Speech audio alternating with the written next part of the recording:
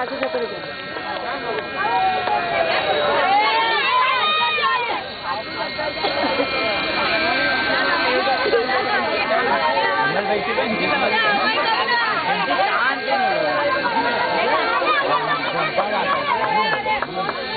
जीवात धडाका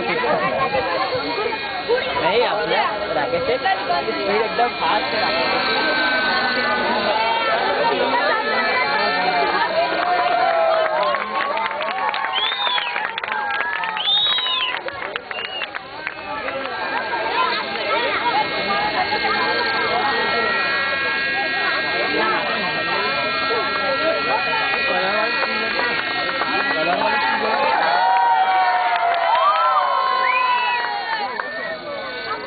lugar.